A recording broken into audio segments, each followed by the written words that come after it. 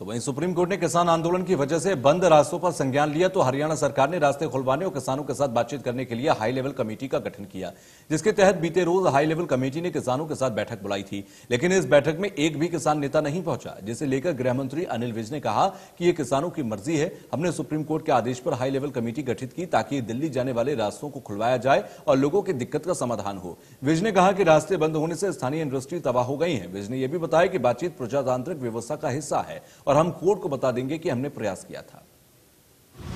हमने तो मान्य सुप्रीम कोर्ट के आदेश पर हाई लेवल कमेटी गठित की कि इनसे बातचीत करके जो दिल्ली को जाने का रास्ता है, वो खुलवाया जाए। और लोगों की जो दिक्कत है, जो इंडस्ट्री तबाह हो गई वहाँ की आसपास की सारी,